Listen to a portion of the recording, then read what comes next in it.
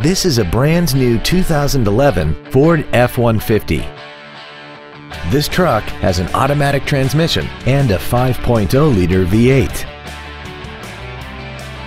Its top features include air conditioning, a folding second row, cruise control, an MP3 CD changer, a leather-wrapped steering wheel, a security system, fog lamps, a low tire pressure indicator, an auto-dimming rear view mirror, and alloy wheels.